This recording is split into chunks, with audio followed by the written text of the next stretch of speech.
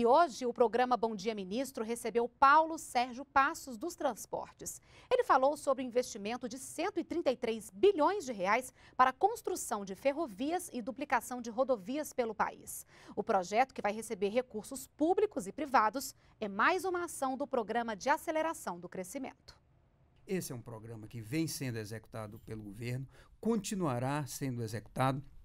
Já temos hoje é, resultados importantes em termos de obras que já foram concluídas, entregues à população e continuaremos dando normal execução àquilo que tá, está relacionado entre as obras do Programa de Aceleração do Crescimento.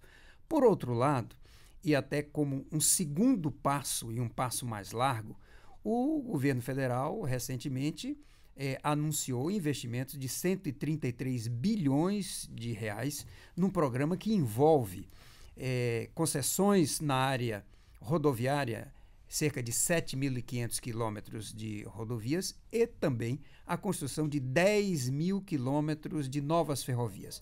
Aqui nós estamos falando especificamente de concessões e parcerias público-privadas.